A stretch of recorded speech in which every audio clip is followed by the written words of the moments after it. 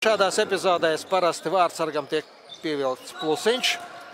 Teicam, spēlē puriņš. Piespēle uz ātro Jabloņskiem un Ričards neatstāja cerības Ivaram Lācim. 14, 18. Izgāja laukumā. Neizdodas līnijā noķert bumbu maslākām. Raitis Puriņš lieliski nolasa dobalnieku nodomus un pārtver bumbu, kas bija adresēta Kreisbergam.